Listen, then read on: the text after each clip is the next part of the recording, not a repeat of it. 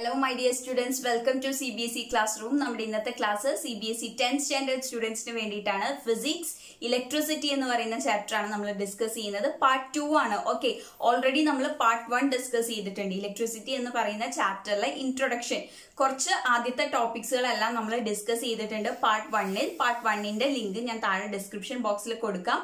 അപ്പോൾ നമുക്ക് അതിന്റെ കണ്ടിന്യൂഷൻ പാർട്ട് ടു സ്റ്റാർട്ട് ചെയ്യാം. ഓക്കെ നമ്മൾ ലാസ്റ്റ് ക്ലാസ്സിൽ പറഞ്ഞു നിർത്തിയത് എവിടെയായിരുന്നു? I is equal to Q by T എന്ന് പറയുന്ന കറണ്ടിന്റെ ഇക്വേഷനും അതുപോലെ തന്നെ കറണ്ടിന്റെയും ചാർജിന്റെ എല്ലാം എസ് ഐ യൂണിറ്റും അങ്ങനെ ഒരു ഇലക്ട്രിക് ഫ്ലോ എന്താണ്? പിന്നെ നമ്മൾ ഒരു എക്സാമ്പിൾ ഒക്കെ പറഞ്ഞിരുന്നു ടോർച്ചിൽ ടോർച്ച് ഓൺ ആവുന്നത് ആ ടോർച്ചിന്റെ ഉള്ളിലെ ബൾബ് കത്തുന്ന എക്സാമ്പിളും എല്ലാം നമ്മൾ അതായത് ബോർഡ് എക്സാമിന് ചോദിക്കാവുന്ന ആ ഇൻട്രൊഡക്ഷനിൽ ആദ്യം കൊടുത്തിരിക്കുന്ന കുറച്ച് ടോപ്പിക്സ് ബോർഡ് എക്സാമിന് ചോദിക്കാവുന്ന ക്വസ്റ്റ്യൻസും അതിന് എന്ത് ആൻസർ എഴുതാം എന്നുള്ളതും ഒക്കെ നമ്മൾ ഫസ്റ്റ് ക്ലാസ്സിൽ പറഞ്ഞിരുന്നു.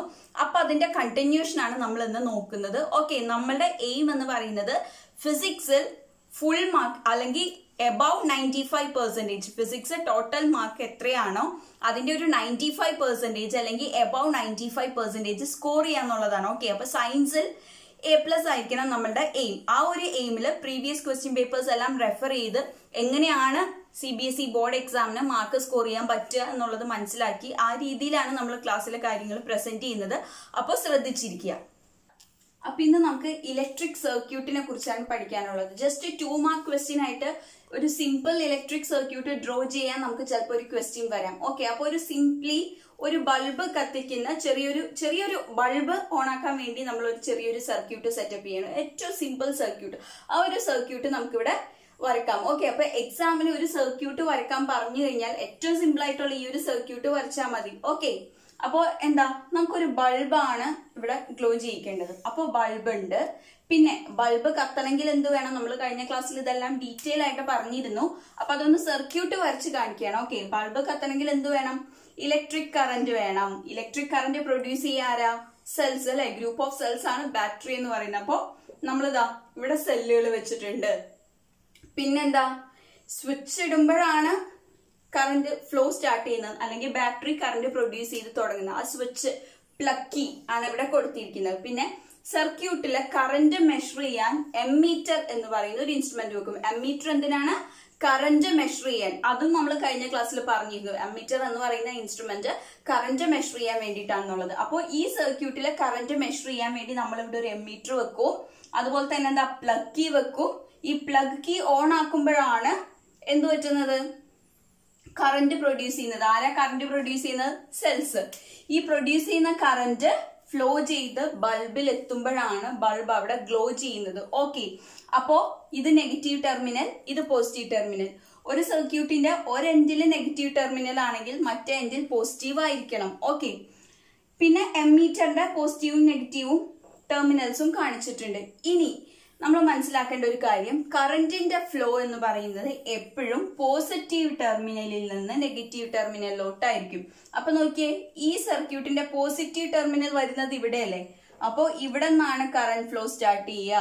Okay always current starts flowing from positive terminal to negative terminal അപ്പോൾ ഇതിന്റെ പോസിറ്റീവ് ടെർമിനൽ ഇവിടെ ആയതുകൊണ്ട് ഈ സർക്യൂട്ടിൽ കറന്റ് ഫ്ലോ ചെയ്ത് തുടങ്ങുന്നത് ഇവിടെ നിന്നായിരിക്കും. ഓക്കെ ഇവിടെ നിന്ന് ഫ്ലോ ചെയ്ത് ബൾബ് വഴി എമ്മീറ്റർ വഴിയാണ് നെഗറ്റീവ് ടെർമിനലിലോട്ട് എത്തുന്നത്. ഓക്കെ അപ്പോൾ ഒരു സിമ്പിൾ ഇലക്ട്രിക് സർക്യൂട്ട് വരക്കാൻ പറഞ്ഞാൽ നിങ്ങൾ ജസ്റ്റ് ഒരു ബൾബും ആ ബൾബിന് ഇലക്ട്രിസിറ്റി പ്രൊവൈഡ് ചെയ്യാൻ വേണ്ടി കറണ്ട് ചാർജ് പ്രൊവൈഡ് ചെയ്യാൻ വേണ്ടിയിട്ടുള്ള ഒരു ഗ്രൂപ്പ് ഓഫ് സെൽസും പ്ലക്കിയും ജസ്റ്റ് ഒരു എമ്മീറ്ററും ഇത്രയും പാർട്സ് വെച്ച് ഒരു സർക്യൂട്ട് കാണിച്ചാൽ മതി. സർക്യൂട്ട് വരക്കുമ്പോൾ കറന്റിന്റെ ഡയറക്ഷൻ ഇതുപോലെ ഏരോ മാർക്കിട്ട് കാണിക്കണം. പോസിറ്റീവിൽ നിന്ന് നെഗറ്റീവിലോട്ടായിരിക്കും ഓക്കെ പിന്നെ അത് താഴെ എഴുതുകയും വേണം. ഡയറക്ഷൻ ഓഫ് കറന്റ് എന്ന് പറയുന്നത് പോസിറ്റീവ് ടെർമിനലിൽ നിന്ന് നെഗറ്റീവ് ടെർമിനലിലേക്കാണ് അതായത് ത്രൂ ബൾബ് ത്രൂ അമ്മീറ്റർ ആണ് ഈ പോസിറ്റീവ് ടെർമിനലിൽ നിന്ന് നെഗറ്റീവ് ടെർമിനലിലോട്ട് എത്തുന്നത്.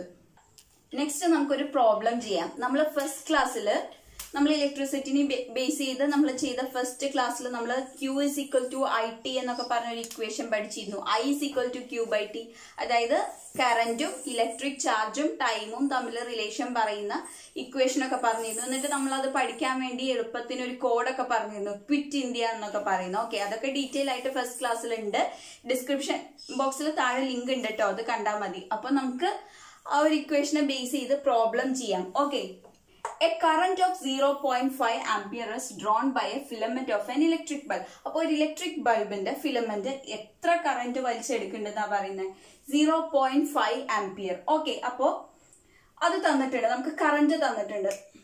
Okay zero point five ampere പിന്നെ എന്താ തന്നിട്ടുള്ളത് എത്ര ടൈമിനാ ടെൻ മിനിറ്റ്സിനാണ് ഓക്കെ ആ ബൾബ് ഗ്ലോ ചെയ്യുന്നതും കറണ്ട് വലിച്ചെടുക്കുന്നതും ആ ഒരു ടൈം എത്രയാ? ടെൻ മിനിറ്റ്സിന് ഇനി നമുക്ക് എന്താ കണ്ടുപിടിക്കേണ്ടത്? Find the amount of electric charge that flows through the circuit electric charge ആണ് കണ്ടുപിടിക്കേണ്ടത്. ചാർജിന്റെ സിമ്പൽ എന്താ? ക്യൂ അപ്പൊ നമുക്ക് ക്യൂ ആണ് കണ്ടുപിടിക്കേണ്ടത്. ക്യൂവിന്റെ ഇക്വേഷൻ എന്താ?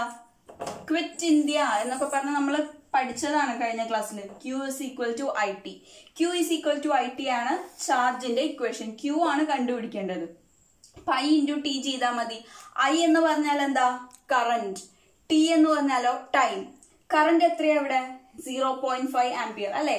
ഐ തന്നിട്ടുണ്ട് സീറോ പോയിന്റ് ഫൈവ് ആംപിയർ ഇനി ടൈമോ ടൈം ടെൻ മിനിറ്റ് എന്നാ തന്നിട്ടുള്ളത്. പക്ഷെ ടൈമിന്റെ എസ് ഐ യൂണിറ്റ് എത്രയാ? സെക്കൻഡ്സ് ആണ്.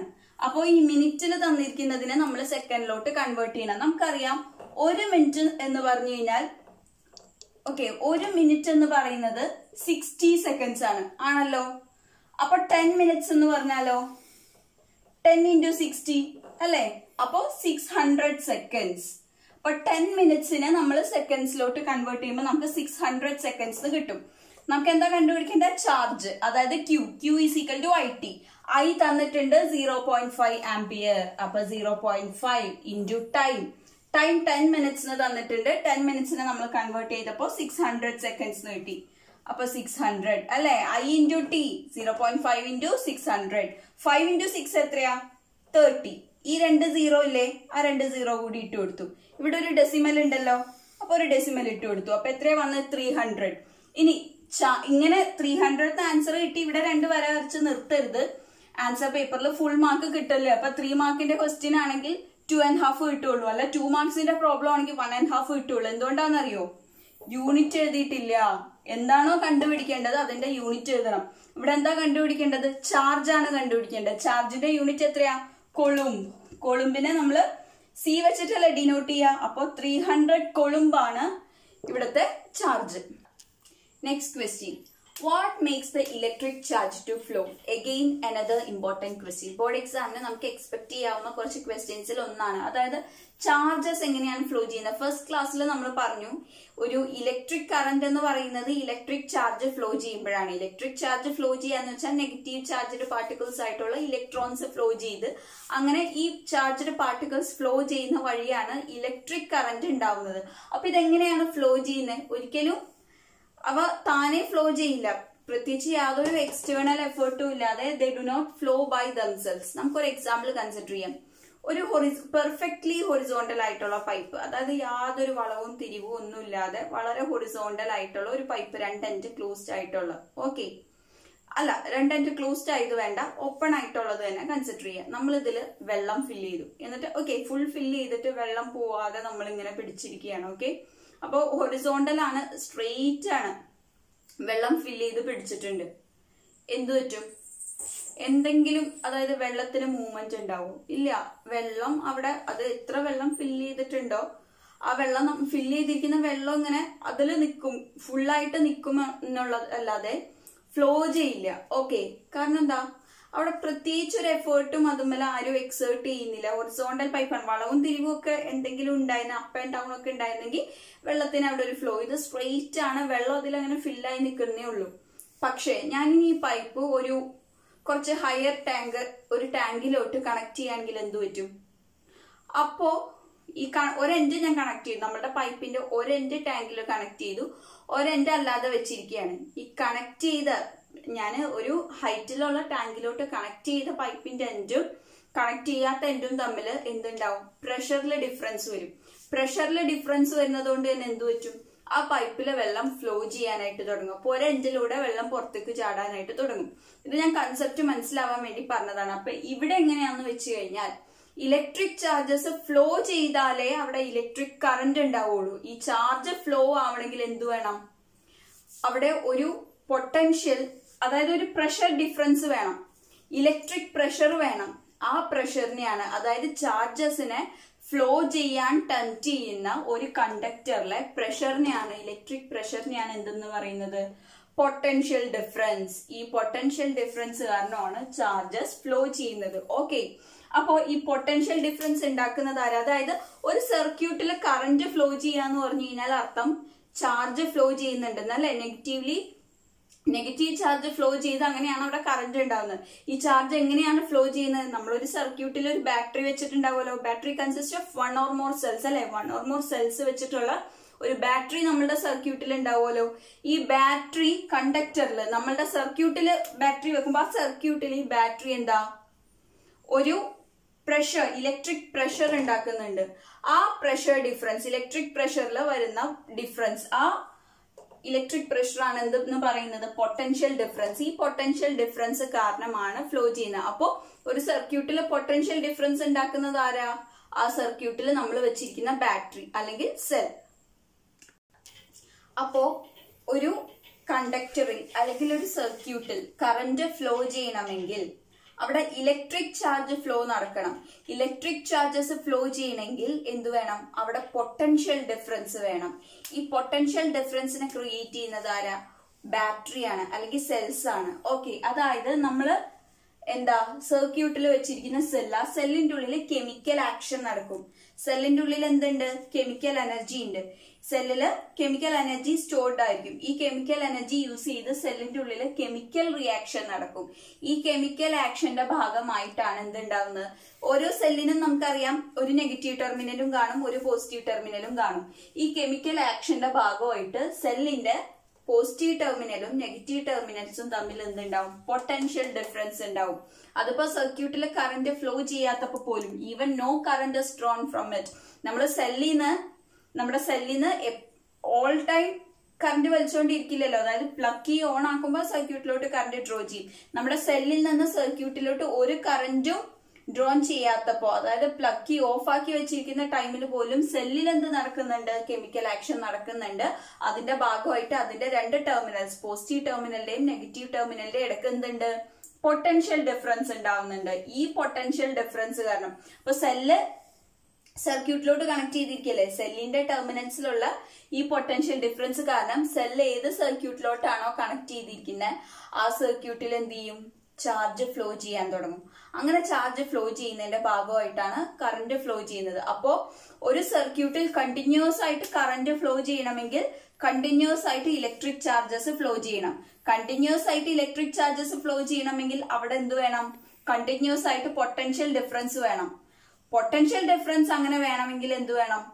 പൊട്ടൻഷ്യൽ ഡിഫറൻസിനെ ആര് ക്രിയേറ്റ് ചെയ്യണം? നമ്മളുടെ സെല്ല് ക്രിയേറ്റ് ചെയ്യണം. അതിന് സെല്ലിന്റെ ഉള്ളിൽ എന്ത് നടന്നുകൊണ്ടിരിക്കണം? കെമിക്കൽ ആക്ഷൻ അപ്പൊ സെല്ലിന്റെ ഉള്ളിൽ കണ്ടിന്യൂസ് ആയിട്ട് കെമിക്കൽ ആക്ഷൻ നടന്നാലേ അതിന്റെ ടെർമിനൽസ് തമ്മിൽ എന്ത് ഉണ്ടാവുള്ളൂ? പൊട്ടൻഷ്യൽ ഡിഫറൻസ് ഉണ്ടാവുള്ളൂ. അങ്ങനെ കണ്ടിന്യൂസ് പൊട്ടൻഷ്യൽ ഡിഫറൻസ് ഉണ്ടെങ്കിൽ കണ്ടിന്യൂസ് ആയിട്ട് സർക്യൂട്ടിന്റെ ഉള്ളിൽ കറന്റ് ചാർജ് ഫ്ലോ ചെയ്തുകൊണ്ടിരിക്കുള്ളൂ ചാർജ് കണ്ടിന്യൂസ് ആയിട്ട് ഫ്ലോ ചെയ്താലേ സർക്യൂട്ടിന്റെ ഉള്ളിൽ കണ്ടിന്യൂസ് ആയിട്ട് കറന്റ് ഉണ്ടാവുള്ളൂ. അപ്പൊ ഒരു സർക്യൂട്ടിൽ നമുക്ക് കണ്ടിന്യൂസ് കറന്റ് ഫ്ലോ വേണമെങ്കിൽ സെല്ലിന്റെ ഉള്ളിൽ എന്ത് വേണം? കണ്ടിന്യൂസ് ആയിട്ട് കെമിക്കൽ ആക്ഷൻ നടന്നുകൊണ്ടിരിക്കണം. അപ്പൊ സെല്ലിന്റെ ഉള്ളിലുള്ള കെമിക്കൽ എനർജി എന്താ? കണ്ടിന്യൂസ് ആയിട്ട് യൂസ് ചെയ്തുകൊണ്ടിരിക്കണം. ഓക്കെ അപ്പൊ in order to maintain the current in a given electric circuit the cell has to expend its chemical energy stored in it ഒരു സെല്ലിന്റെ ഉള്ളിൽ സ്റ്റോർ ചെയ്ത് വെച്ചിരിക്കുന്ന കെമിക്കൽ എനർജി ഫുൾ അത് സ്പെൻഡ് ചെയ്യണം. കെമിക്കൽ എനർജി ഇങ്ങനെ സ്പെൻഡ് ചെയ്തുകൊണ്ടിരുന്നാലല്ലേ അവിടെ കെമിക്കൽ ആക്ഷൻ നടക്കുകയുള്ളൂ കെമിക്കൽ ആക്ഷൻ നടന്നാലേ പൊട്ടൻഷ്യൽ ഡിഫറൻസ് ഉണ്ടാവുള്ളൂ. ഈ പൊട്ടൻഷ്യൽ ഡിഫറൻസ് ആണ് സർക്യൂട്ടിൽ നമ്മുടെ ചാർജസിനെ ഫ്ലോ ചെയ്യാനായിട്ട് ടെംപ്റ്റ് ചെയ്യുന്നത് ഓക്കെ നമ്മൾ ഇത്ര നേരം പറഞ്ഞ കാര്യങ്ങളെല്ലാം നിങ്ങൾക്ക് ക്ലിയർ ആയിട്ടുണ്ടാവുമെന്ന് കരുതുന്നു. ഒറ്റ തവണ കേട്ടതുകൊണ്ട് ആർക്കും എല്ലാ കാര്യങ്ങളും മനസ്സിലാവില്ല. ശ്രദ്ധിച്ചു കേൾക്കുക. അപ്പോൾ ഒരു ഐഡിയ കിട്ടും. അതിനുശേഷം ലെക്ചർ നോട്ട് എഴുതുക. നിങ്ങൾക്ക് ലെക്ചർ നോട്ട് എഴുതാൻ വേണ്ടിയിട്ടാണ് ഇമ്പോർട്ടന്റ് പോയിന്റ്സ് ഒക്കെ ഞാൻ ഇങ്ങനെ ബോർഡിൽ എഴുതിയിടുന്നത്. ഓക്കെ പറയുന്നതിനോടൊപ്പം ഞാൻ ബോർഡിൽ ഇത് എഴുതിയിട്ടിരിക്കുന്നത് ഞാൻ പറയുന്നത് ശ്രദ്ധിച്ച് കേൾക്കുക. അതിനുശേഷം ലെക്ചർ നോട്ട് എഴുതുക. എന്നിട്ട് ഈ ലെക്ചർ നോട്ടിൽ കൂടെ ഒന്ന് ഗോ ത്രൂ ചെയ്യുമ്പോൾ കുറച്ചും കൂടെ ഐഡിയ സ്ട്രോങ് ആവും. എന്നിട്ട് നിങ്ങൾ ഈ ക്ലാസ് ഒന്ന് റിപ്പീറ്റ് ചെയ്തിരുന്ന് കേട്ടു വയ്ക്കേ അപ്പൊ തറവായി. പിന്നെ നിങ്ങൾ ഒരു എഫേർട്ട് എടുക്കണ്ട. എക്സാമിന് കറക്റ്റ് ആയിട്ട് ഓർമ്മയുണ്ടാവും. അതായത് ഒരിക്കൽ ക്ലാസ് കേൾക്കുക ലെക്ചർ നോട്ട് എഴുതുക. ലെക്ചർ നോട്ടിൽ കൂടെ ഗോ ത്രൂ ചെയ്ത് ഒന്നും കൂടെ സ്ട്രോങ് ആയിട്ട് ഒരു ഐഡിയ ക്രിയേറ്റ് ചെയ്തതിന് ശേഷം വെറുതെ നമ്മുടെ ക്ലാസ് ഒന്ന് റിപ്പീറ്റ് ചെയ്ത് ഫുൾ ഒന്നും കൂടി ഒന്ന് കേൾക്കുക. ഓക്കെ എന്നിട്ട് പിന്നെ ഇടയ്ക്കിടയ്ക്ക് നിങ്ങൾ എക്സാം വരെ lecture note once in a വീക്കോ എങ്ങാനും ഗോ ത്രൂ ചെയ്താൽ മതി.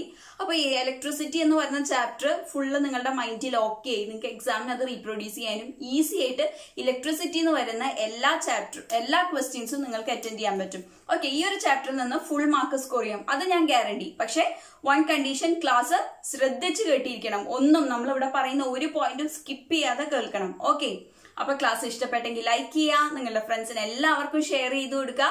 ചാനൽ ഇതുവരെ സബ്സ്ക്രൈബ് ചെയ്തിട്ടില്ലെങ്കിൽ സബ്സ്ക്രൈബ് ചെയ്യണം. നമുക്ക് ഇതിന്റെ കണ്ടിന്യൂഷനുമായിട്ട് അടുത്ത ക്ലാസ്സിൽ കാണാം. ചിൽ ദൻ ബൈ